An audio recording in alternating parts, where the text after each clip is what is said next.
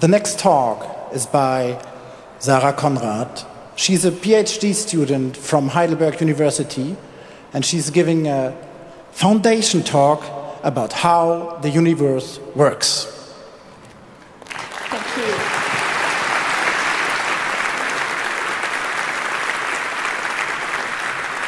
Yeah, hello everybody. I'm really amazed how great the interest in this community is for science. This is really, really awesome. And I'm really happy to be here today to talk to you about how to reverse engineer the universe. And by that, we will see that we have to explore the very, very dark sides of the universe. So imagine you are on a, on a very clear night outside. You observe the stars, and maybe you wonder what is out there. There are all these tiny little stars. Maybe you have images from colorful nebula in your mind, and you wonder what else is out there, and how far is all that, and where does this all come from? So, how people imagined the world to work in former times is depicted here. And the caption says A missionary of the Middle Ages tell that he had found the point where the sky and the earth touch. So people believe that there is this curtain in the sky and stars are pinned on this curtain. And they were so curious and wanted to know the secrets of how the world works and wanted to look behind the curtain and see the machinery, what's going on there. Of course, today we know that the sky is not a curtain with stars pinned on them, but we know that we live, our sun lives in the Milky Way galaxy. And today we know that the sun is a relatively average star among all the other stars we see. And in case you lost track where you are now, so you are here. Um, yes. So at the beginning of the 20th century, people indeed believed that the Milky Way galaxy is made the whole universe. So the whole universe consists of our Milky Way galaxy, and everything we observe in the sky is within our own galaxy. So you see the worldview got a little bit larger. So we went from only our own little planet to a whole galaxy. This is what we observed. But people also wanted to know how space time works. So, the stuff our Milky Way galaxy is embedded in. And how could we investigate this question without him, Albert Einstein? In 1950, he found the general theory of relativity. And this theory made the essentials for our current understanding what space time is and how it works. So I will introduce to you now the most complicated equation in this whole talk, but this is really the essentials. The essentials of general relativity is one simple set of equations. On the left-hand side, they show the dynamics of space-time. So the dynamics of space-time is equal to the energy and the momentum content of our universe. What does this mean? In case our universe was empty, the dynamics would vanish. Nothing would happen. Space-time would just be as it is. But as soon as we fill our universe with stuff, with matter, with radiation, the dynamics of space time will come into play, and space time will not stay as it is. The space will expand or contract, will curve, and matter will begin to flow and to go into movement. This sounded really very strange to people at that time a universe that changes its size. And people don't wanted that. This was really something people didn't want. So Albert Einstein introduced a further factor in his equations. Um, this lambda factor to cancel out the effect of the matter and the radiation in our universe in order to make it static. So nice and smooth as everything should be. Equation, this further factor was allowed by the equations, but the nature of this factor was really mysterious. Is it an unknown energy or a property of space time? We will see. This is how our current understanding of space time developed. But what about our understanding of our surrounding? As I told you, at that time, people believed that the Milky Way was all our universe consisted of. We were not able to see much further. And what we know today are um, other galaxies just appeared as spiral nebula in the sky because individual stars could not be, be resolved. Now, Henrietta Swan Leavitt was a was a woman who worked at the Harvard Observatory and she investigated stars in the large and the small Magellanic Cloud. Now we know that these clouds are tiny galaxies that accompany our own Milky Way galaxy. And at the time she did, uh, she, she, she worked there, she found out that um, we see already individual stars in these clouds, and she observed stars that vary in their brightness on a range of days. So they pulsate, they increase in magnitude and decrease in magnitude. And what she also saw was that the faster this pulsation works, the brighter these stars are. And with this, it was possible for the first time to search for these Cepheid variable stars, measure their pulsation.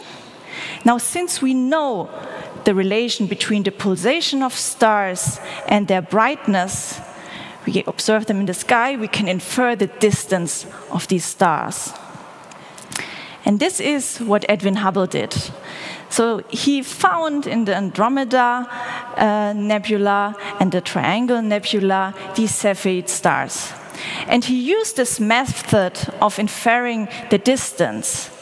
And what he found was that these nebula must be farther away than all the stars that we can see.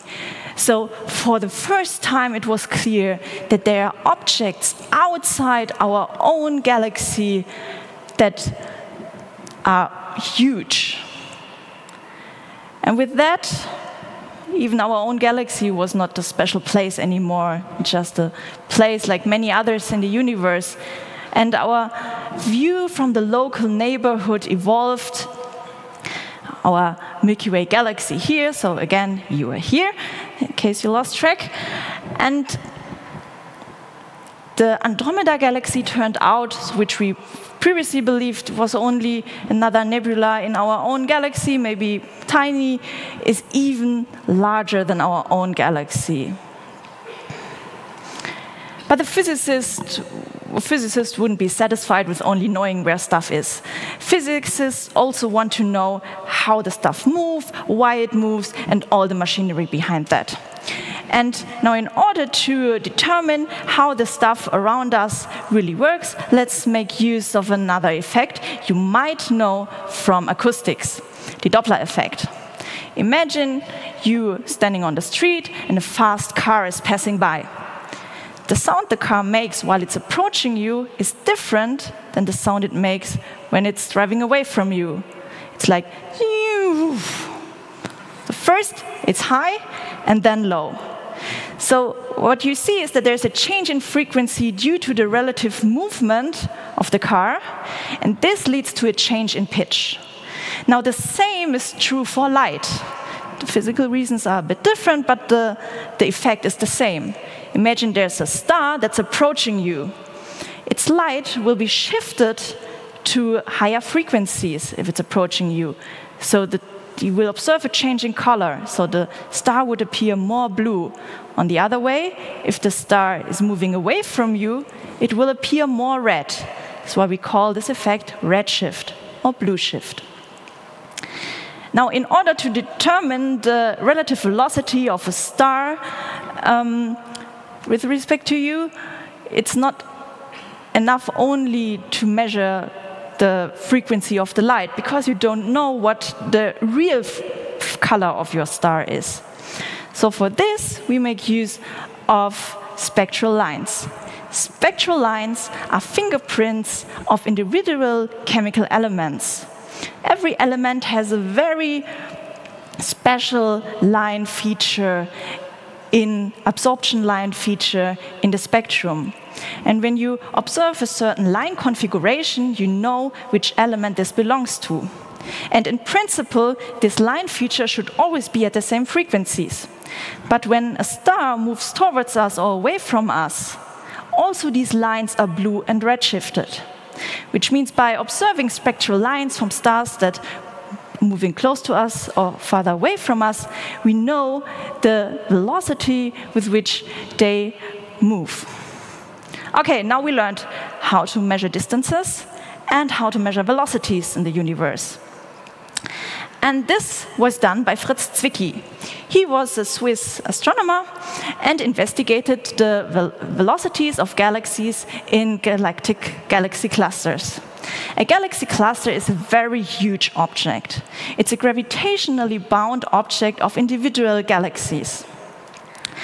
And what he did was, okay, he was interested in, oh, maybe they're like a mobile, they're moving around, staying together, and he measured the velocities. And what he found was really, really strange. These galaxies moved with speeds so high, such that it was unbelievable that these guys could stick together.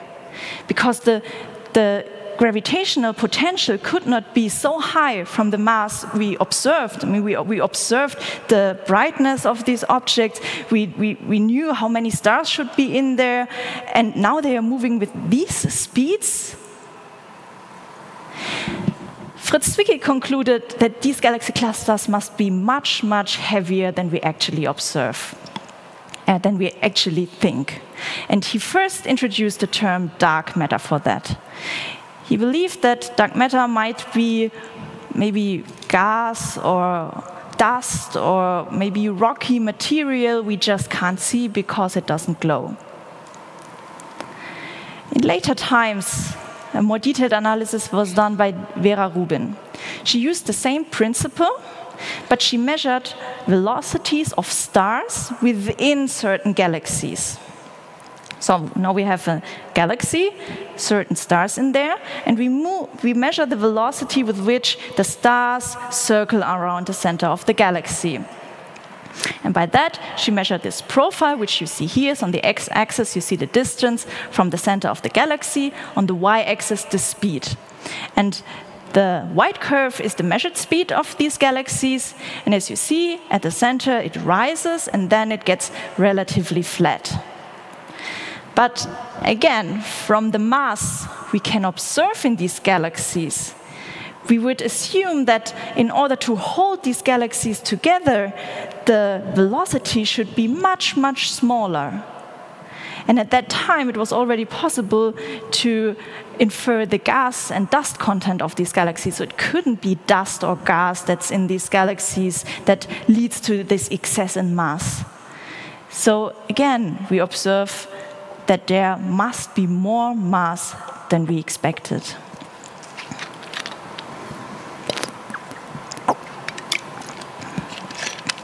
So our the hints for something like dark matter got more and more. But let's go back to our view of how the universe itself works. Now we have this mysterious of what's inside, but how does it work itself?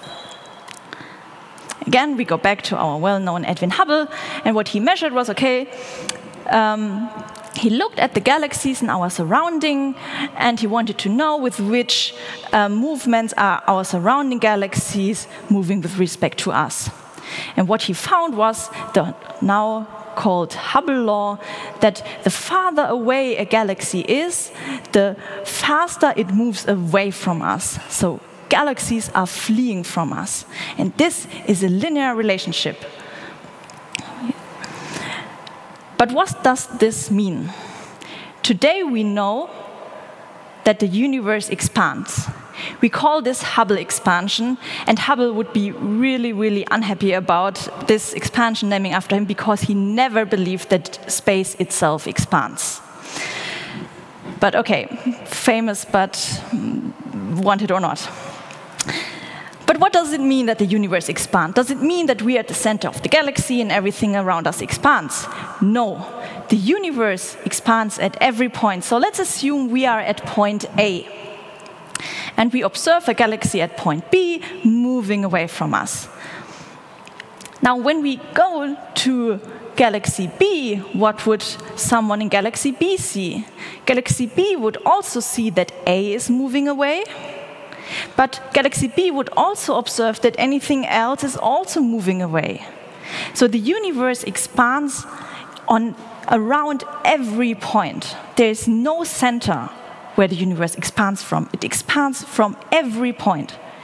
And the first one who formalized this observation was Alexander Friedmann, who found the equations that describe these specific movement of our universe.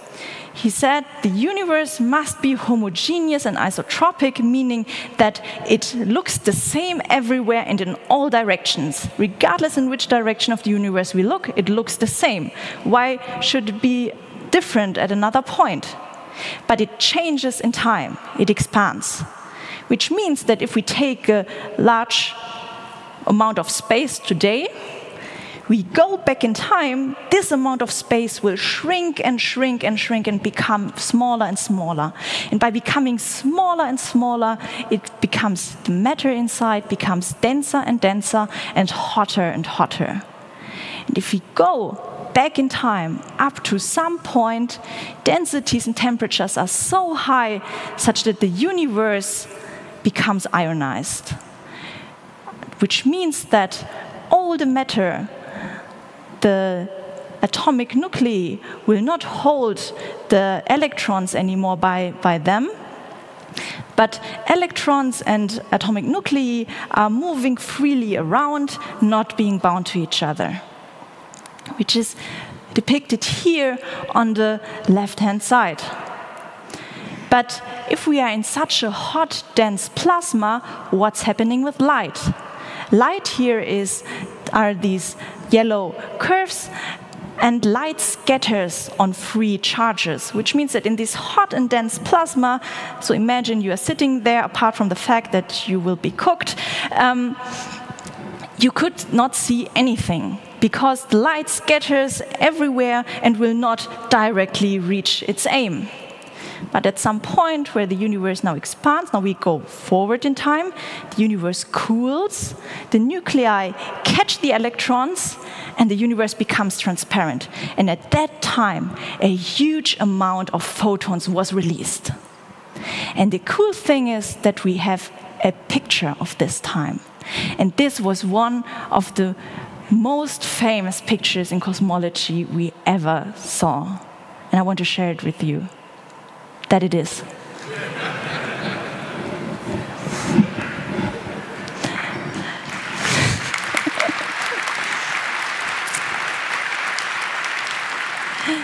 Thanks to these two guys, we have this picture, Penzias and Wilson. They were working on the Holmdel laboratory um, on a radio antenna. Um, I wanted to measure something completely different and had always this noisy background in their antenna, and they wanted to get rid of it.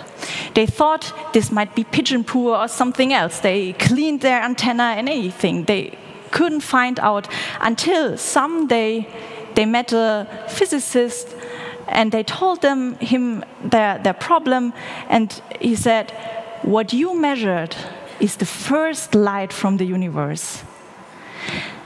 And for this, they got the Nobel Prize afterwards, and they got the Nobel Prize, and physicists got a new toy to play with. Because once you have a new measurement, you, I mean, okay, this is homogeneous and nice, and you laughed because of reasons. Um, so physicists wanted to know, okay, is this really so homogeneous as we see it? And they did computations and computations. I mean, today we see structures in the universe, so they might have been initially also when this uh, radiation was released. So do we see reminiscence of these structures, of these initial structures in this radiation field? And they computed and computed and thought, okay, how much matter do we have in the universe? And they computed, okay, um, I guess we, so, so they guessed the, the fluctuations in this radiation field must be of the order of a hundredth Kelvin, which is really, really tiny. They started measuring and they found nothing. What was wrong? Did they do a mistake? In the 90s, the COBE satellite measured for the first time the fluctuations of this radiation field. And it turned out that, this, that the fluctuation amplitude was much, much less than expected. It was 100,000 Kelvin. And the only reason that these tiny fluctuations are so, so tiny is that a large amount of the matter at that time, when the cosmic microwave background, this, this radiation was released, did not interact with light. So here we have the proof that dark matter is indeed invisible. We will never be able to see it, to take a picture directly from it. Because there's matter in our universe that does not emit photons, that does not interact with photons, that is so completely different than what we know. The cosmic microwave background nowadays is much more detailed, investigated, and these tiny fluctuations we see there. Um, here measured by the Planck satellite a few years ago, um, serve as seeds for the big structures we see today. And if you're interested in how cosmic structures evolve from these fluctuations, I strongly recommend you, if you don't haven't, uh, if you didn't have seen the talk uh, on day two by Philipp Busch, Simulating Universes, go there, have a look, and see how structures are formed from these fluctuations today. But what do we know now about our own universe? You know, we still wanted to reconstruct our own universe. At the very, very beginning, there was the Big Bang. So when we go back in time, compress anything, at some point we reach really the zero point. This was the Big Bang. Then there was a brief period, we, we believe, uh, of very, very fast expansion called inflation less than 400 years after the birth of the, big, of the universe, we have this release of cosmic radiation, the cosmic microwave background I presented to you. Then the Dark Ages came, where no stars were at that time. Then stars, galaxies formed. And then a new epoch started, which was confirmed approximately 10 years ago. Um, which was the accelerated expansion of the universe. You remember this cosmological constant factor Einstein introduced in his equations in order to make the universe static. Nowadays, we see that it's not there to make it static, but the effect of this constant is indeed to make the universe today accelerating. So Einstein invented, so to say, dark energy without knowing it. But today we know okay, something in our universe is there to make the universe further and further expanding. Regular matter cannot do that. Regular matter contracts space but cannot expand space. What do we know about the ingredients of the universe? Directly at the release of the cosmic radiation, we had very much dark matter, atoms, neutrinos, and photons played a big role. But with the expansion of the universe, their role became less and less important. And today we know that the density of uh, the, the energy content of atoms make just 5% of our universe um, today 27% is made up of dark matter.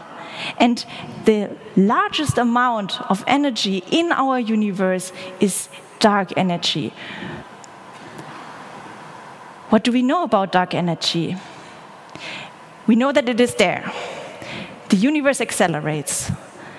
The other matter and radiation forms cannot be responsible for that. So something like dark energy must be here in order to serve for this accelerated expansion. We know that the energy density is really very homogeneous in space, so it does not form any structures like matter does. It may be constant in time. We have no hint today that the energy density of dark energy changes in time. So maybe it stays constant forever, then we have this cosmological constant, but physicists, of course, don't think, okay, maybe it's constant, so yeah, let's assume it's constant, but let's check that. And this will be checked in upcoming studies up to an accuracy of 10%. So in the next years, we will see does dark matter, dark energy change its density in time or not? And anything else about dark energy is highly speculative. There are many different models that predict different things, but nothing known today. So, this is all we know about dark energy for sure. Let's go back to dark matter. Maybe we get a bit more to know about that. What could dark matter be? Standard matter, Let's briefly recap what standard or normal matter is, or the matter we understand. You, everybody knows what an atom is, I guess. So you have a nucleus that's positively charged. You have electrons moving around. Here's this. Um, yeah, the, oh, the quantum physicists are not here today. Um, so, but you see what I mean. So in, in the core of these atoms, um, there are protons and neutrons, and every proton and neutron, again, is made of quarks, what we know today. Now, what are quarks? There are six kinds of known today. The up quark, down quark, the charm quark, the strange quark, the top quark, and the bottom quark. Physicists sometimes have humor, yes. Protons and neutrons are made up of up and down quarks. The other quarks are much heavier and not very stable, but they have been seen in the LHC and other colliders, for example. Then we have the leptons, electron, muon, tauon, and for every electron, muon, tauon, there is a neutrino. This is regular matter, or radiation in the neutrino case, and this is not dark matter. We know that. So we can rule that out. One thing at least we know. Okay, but now we know what it is not. What might it be? Maybe primordial black holes. So I told you that when the cosmic microwave uh, radiation was released, the this matter, the dark matter, could not interact with the photons a black hole does not emit photons, so it traps photons. So maybe we had at that time many, many black holes there. But the problem with this theory is, although it could lead to the observations we, we make today that there are very, very few and very exotic cosmologies only that allow the formation of primordial black holes, because black holes must have been formed before atoms formed. And astrophysical observations allow only a very tiny range of masses for these primordial black holes. So primordial black holes are not excluded today, but not the likeliest ones. Maybe our particle model is not complete. So maybe there are particles in our that are not in the standard model. This is why we call this beyond the standard model uh, particle physics.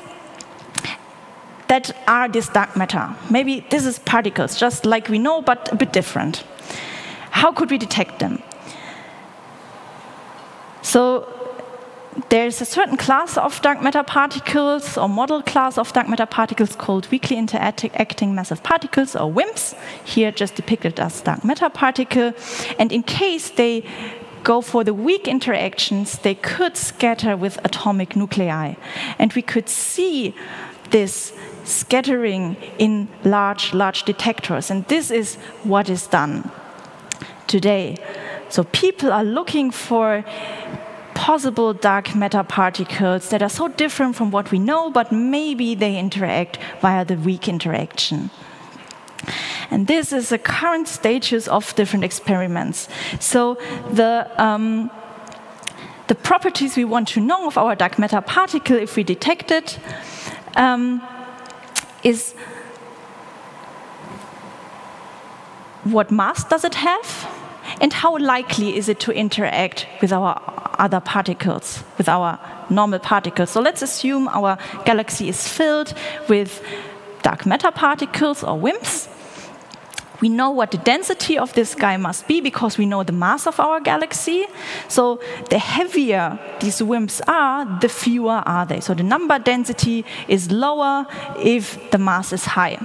This is one number we want to know. We want to know the mass and the, size of these guys or the probability to interact. And this is what these uh, experiments shown here measure. So they want to know, okay, given a certain WIMP mass, because we don't know what the mass is, there's a plethora of models, so there's a huge parameter space to investigate, um, dependent on the WIMP mass. And assuming a given cross section, would we detect this particle? Now, the continuous lines shown here are running experiments. So every line shows, given a certain mass, if the cross section or the size of our particle is above the line, we would be able to detect it. If the size is below, meaning the interaction probability is low, we would not see it. The dotted lines are experiments that are under construction. And what you see here, relatively bad, but see in the see what you see here, the orange regions. So I, I, I distinguish the regions um, we already have. So in the lower regions of very very tiny particles, if the WIMP would be very very tiny, we couldn't distinguish them from neutrinos. So we are blind in this region. The red area are already running experiments. We know that WIMPs in this range are basically excluded. There were certain um, signals which are under discussion currently, which were it is a bit unclear. Uh, did these experiments saw really something, or were these signals from other sources? And the dotted um, lines are experiments under construction or in planning, and the line, um, the the blue, green, yellow line is one of the most um, forwarded experiment now, which would really go down up to the neutrino background. So if these experiments will run one day, and if there are WIMPs, we could possibly sometime detect this experiment will see it. But currently, everything we saw, it looked really, really bad. Okay, so this is if WIMPs interact with our normal material. But maybe there's not a possibility. Maybe they don't interact with our normal material, but they interact with each other. So you have two dark matter particles, seen here. They interact. We say that they might annihilate because they maybe vanish and um, uh, flow apart to different stuff. And there are many models that say, okay, in case we have this kind of model or that kind of model, there must be photons or neutrinos produced by that. And this smoking gun radiation, this indirect detection of dark matter, this could possibly be observed here. Now, the problem with this indirect detection is that the photons or neutrinos that are produced there are not necessarily very um, unique. So basically, what you have to do is you have to observe the whole sky for all the radiation. You have to measure all the photons, all the neutrinos, know where they are coming from, which means that. Um, just if you don't know why this photon comes here, what the source of this photon is, doesn't mean that dark matter is the reason for, for, this, um, for this radiation. So,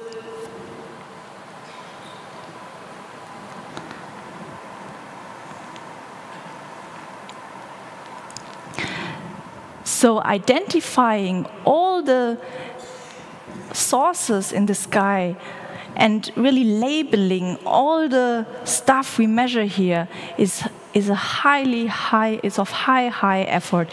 And um, I wanted really to mention here um, the talks from Joost Megindas on day one, going deep under to watch the stars on neutrinos, and multi-messenger astronomy, the identification of cosmic radiation and neutrinos, which was by Annie on day three. Um, so there you see more of how this cosmic radiation can be measured, can be identified, and what might be how we can go on. But currently, this is really a really, really hard problem. Okay, unknown particles, maybe we are about to see what's going on there. But we are already relatively far. So maybe let's consider a completely different direction what dark matter might be. So maybe it's not a particle. Maybe we will never see a particle that we assign to be um, part of not the standard model and being responsible for this dark matter we observe. So maybe our theory of gravity is just wrong. Maybe on large scales, on very large scales, the scales of a galaxy, of a galaxy cluster, gravity just works differently than we think. So maybe Einstein was wrong. Now, in order to test this hypothesis, I will introduce you with a further physical effect, which is gravitational lensing. So I told you that matter or energy changes the shape of space time. Which means that if you have a huge and massive object, it will deform space-time, will curve space-time such that if you have here this massive object and I shine light to you from behind, the light rays will be curved around this massive object. And this is what you see here. So you see here a photograph of the galaxy cluster Abell 2218. And these these arcs you see are not mistakes in the picture or in the lens.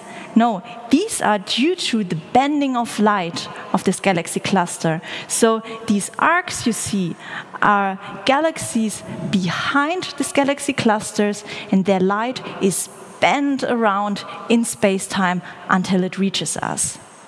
Now, the cool thing is with this method that we can, by analyzing the shape of these arcs, we can infer the mass of this galaxy cluster. So we have another independent method to determine the mass of a galaxy cluster apart from the velocities in its, its center. So you remember Fritz Zwicky, who measured the galaxy velocities?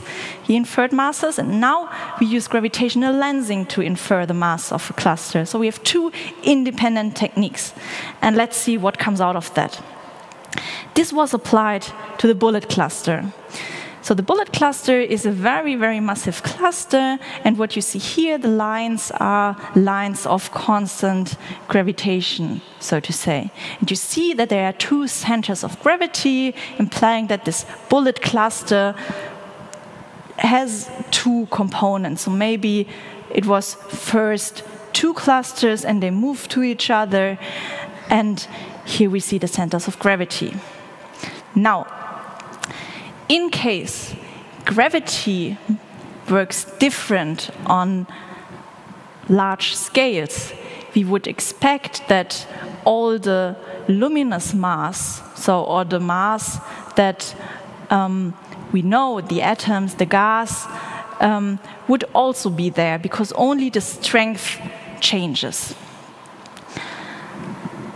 So we can look at the gas in these galaxy clusters also via another independent technique, not only by measuring the mass, but the gas that fills galaxy clusters. And the gas that galaxy clusters fills, the, the mass of this is much, much higher than the galaxies themselves. So this is really the massive part of known matter in galaxy clusters is very, very hot and it emits X-ray radiation which means we can observe this gas in X rays.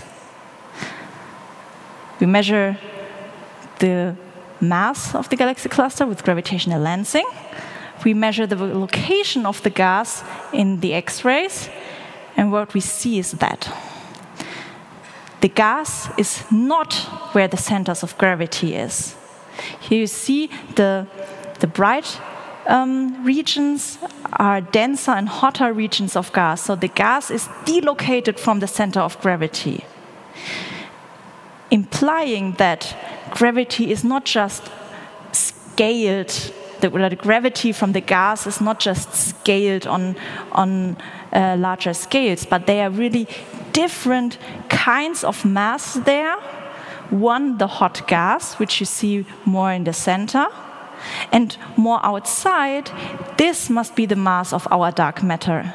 And the reason why the gas and the dark matter are delocalized in this case is because we have here indeed two galaxy clusters that moved through each other. The gas felt the pressure from each other, heated up.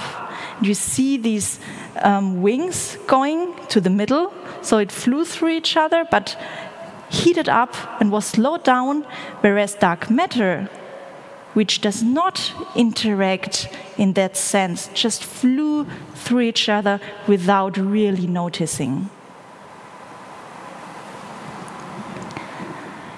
This observation killed a huge amount of modified gravity models, which assumed just the different strength of gravity on larger scales. So, a modification of gravity. There are still modified gravity models left, so different kinds of gravitational theories apart from uh, the general theory of relativity, which are possible. But let me tell you that one further observation also killed a lot uh, of these models was that um, the neutron star merger uh, in the past time, maybe you um, uh, you, you, heard about that, that uh, since we have this gravitational wave detector, there was a neutron star merger detected. And for the first time, this was really a huge discovery in multi messenger astronomy because this neutron star merger was observed via gravitational waves in and via photons and via neutrinos. So the what we saw was that the speed of the gravitational of the, the, gravity of the gravitational waves that reached us and the speed of the light emitted from this neutron star merger was the same. And this was also something that was is is not predicted from from certain modified gravity theories so there are there were many, many modified gravity theories who predicted that the speed of light is different from the speed of gravity. But now we know the speed of gravity is the same as the speed of light, which also improved our knowledge about gravity itself and is a further reason for general relativity.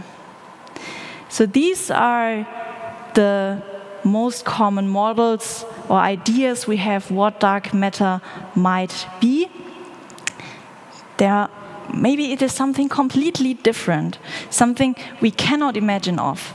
But this is hard to detect, something we cannot know.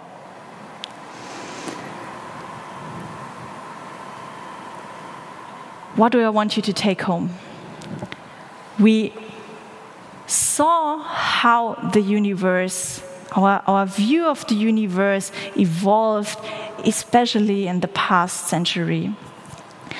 We know that today only 5% of the energy content of our universe is known to us. These are the atoms which make up the gases, the dust, the stars, the earth, us. This is only 5%. 5% of the stuff in our universe is something we can possibly ever see. The other stuff we will never see in the visual regime. 27% of the energy content of our universe must be something like dark matter. An excess in, in mass we cannot explain currently with different models. Maybe it is a particle. We don't know. And the largest majority of the energy content in our universe is this strange thing called dark energy. That stuff that made our universe, makes our universe expanding in an accelerated way. And since we have no other reason to believe differently, the future of our universe will be the cold death. Everything will expand farther and farther. It will become colder and colder because it gets less dense and less dense. And maybe this goes up to infinity. Maybe there's something else coming in we don't see yet, but we don't know. All we know is that these three components are nowadays the most important components, and that 95% of the stuff is literally in the dark. But we will know better in the future. So stay tuned and explore the dark. Thank you.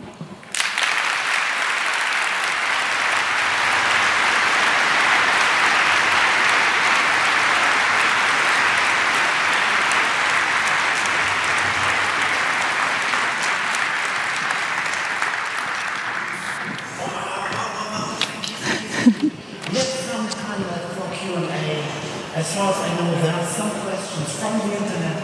If you have some questions, to stand up, go to the microphones that are over there, and over this, I think too. But first, from the internet, similarly. Thank you. What do you think about the theory of higher dimensions, like string theory forms, such as D-brane or P-brane? Yeah, so string theory has a hard time to make predictions that are actually testable. And, and I guess this is a very, at least for me, this is really one of the most important things to follow a theory. It is absolutely worth developing these theories because we learn a lot from them, but now, at least now, I don't think that they are of much relevance for us now. And the next one. Um, has there been research about effect of inhomogeneities on the accelerating expansion of the universe, thinking about the big voids that we observe in the cosmic structure? So, um, what effect? Sorry, where, where are you? Uh, okay. This was from the internet. Oh, this was from the internet. Uh, could you repeat the question, please? Yes, sure.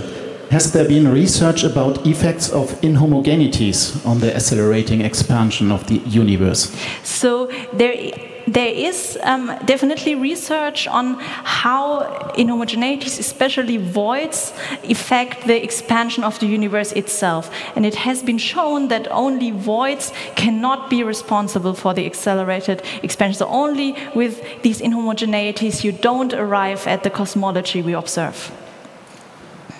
Thank you, Internet. Uh, microphone number two, please.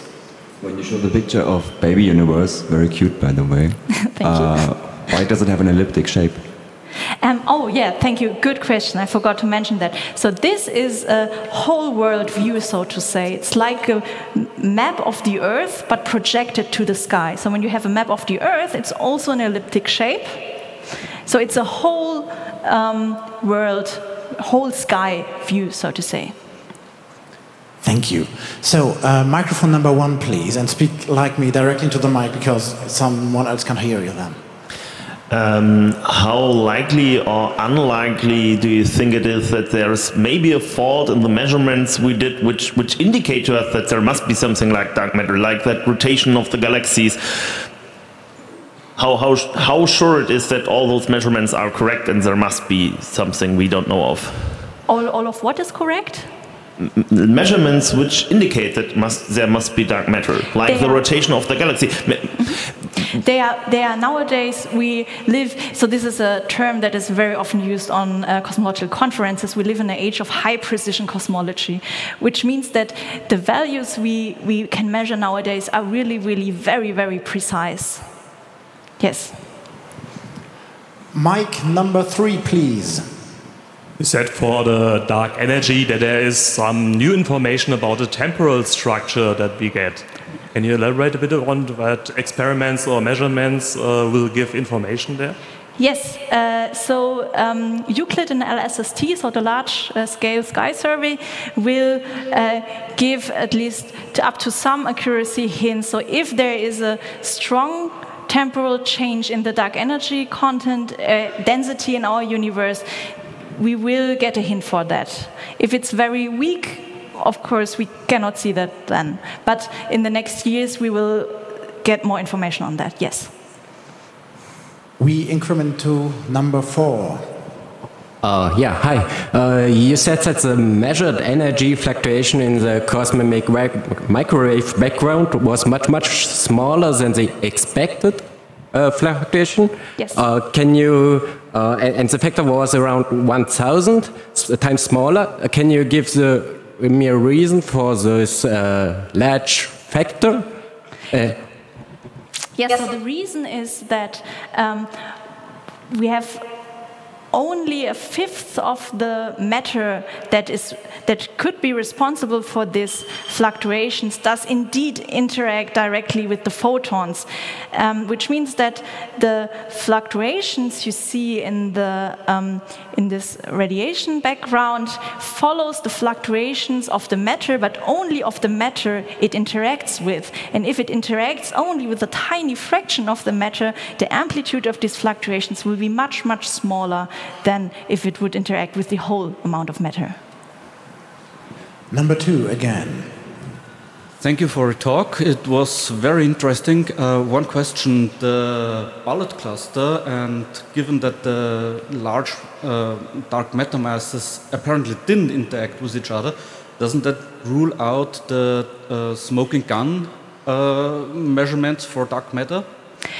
Um, so the probability that dark matter particles interact is assumed to be very, very low. So you wouldn't see it if to, I mean, you would have events while two galaxy clusters move through each other, but they are so few that you don't see that directly in the structure. So you really have to measure individual events and the photons and the neutrinos then. So it's only very, very rare events that would appear there. Because, of course, otherwise we would see it. If we had strongly interacting dark, self-interacting dark matter, we would see that in the structures we observe. So we have another microphone, number five in the back. Hi. Hey, thanks for including me in the questions. Um, basically, it's a kind of advertisement for my friend physicists, which get a theory of um, giant primordial photons trapped by gravity. Have you heard of that? Uh, I guess I didn't understand the theory. Can you repeat that? It is like in the beginning of the universe, they were creating the kind of photos that are mass so giant that actually were trapped by the gravity. I don't guess I heard about that. But maybe you come by later and we have a chat about that? Sure, you can find his talks on uh, Quora.com. Uh, he's called himself Piotr. Thank you. So, number one, please. You, you showed us the slide with the, the experiments for detecting WIMPs. Yes. How far. Into the mic, into the mic. Thank you. Sorry, it's set up for someone taller than me. Um, how, how long do you think it will be before the, the WIMP uh, detecting experiments actually either detect WIMPs or prove that we're not going to detect them that, that way? And if we don't detect them with those experiments, if we gave you a blank check, what is the experiment that you would do to help put this one to rest once and for all?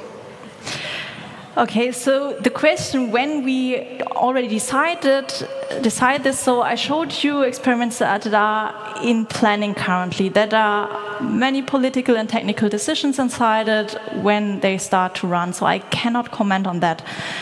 Regarding experiments to decide, I mean, we try to, of course, eh, or what is tried, I'm not in this kind of experiments, uh, what is tried is, of course, to extend the range in all directions.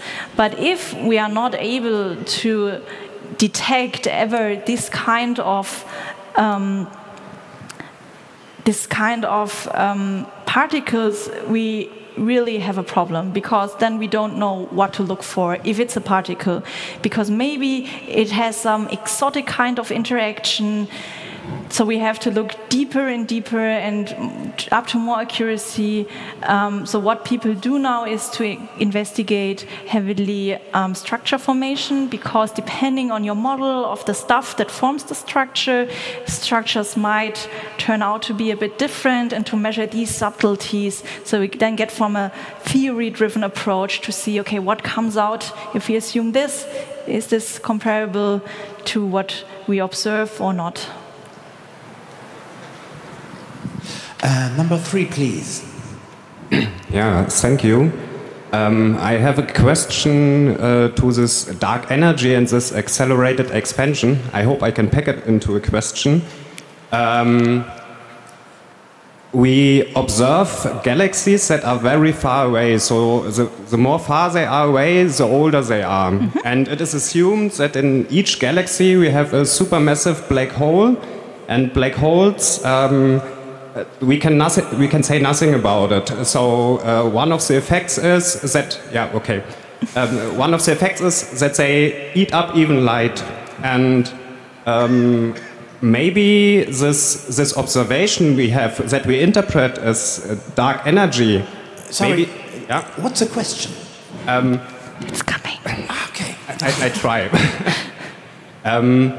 that uh, the, the, effect we see, that we interpret as dark energy, maybe it's a misinterpretation of what we see, and that it's an effect of uh, the masses that, uh, that masses have uh, on light, and that there is no acceleration, and we only interpret this, this what we see as a Doppler effect. Um, yeah, that, that we interpret it as an acceleration, but instead it's an effect of mass on light? I am very, very sure that um, this is excluded by the observations we can see because our cosmological model we developed um, would take this effect into consideration if it was uh, responsible for this observation that lead us to the assumption or to the conclusion that the universe expands accelerated. So this can be excluded. Yes. Thank you, and sorry for me being stupid. Number four. Hello, thank you for your talk. Um, it's always stated that the universe is expanding. From how what I understand is that there's new space created. Could it be that dark energy is the energy which is needed to create space itself? Um, this is basically the interpretation. So the, the, the, idea is that dark energy has something we call negative pressure, in contrast to um, regular matter and radiation, which has a positive pressure, and this negative pressure leads to an expansion of the universe. So yes, dark energy is responsible for this accelerated expansion. Number two. Have you considered that the inability to answer such questions about dark matter or dark energy indicates that we reach the boundaries of our current uh, physical models, or rather, um, you considered that that is a different, completely different, contradicting model of physics or mathematics um, that would be required to answer these questions? So um, models are models because they are only subsets of what we describe, because otherwise they would be called reality. So indeed, a model is never complete. Um, the question is, when is a model contradicting something? I mean, does the standard model of particle physics contradict that there are other particles? I, I, have a bit problems to, to saying they contradict. At least they are not complete. We know obviously they are not complete because we observe stuff we cannot explain. Now, the point is that to say, okay, what is um, likely or less likely depends absolutely on your point of view because you have to to to look okay I, I have to drop an assumption we made a general assumption for example like homogeneity of the universe. When I drop that is that less strong than dropping the assumption that um, there are no other particles, for example, and this is hard to quantify which models are more likely or less likely, but I wouldn't, I wouldn't call it a contradiction nowadays. I would call it incomplete. I'm sorry, the Q&A finishes now. Please, a warm hand and a warm applause for Sara Konrad. Thank you.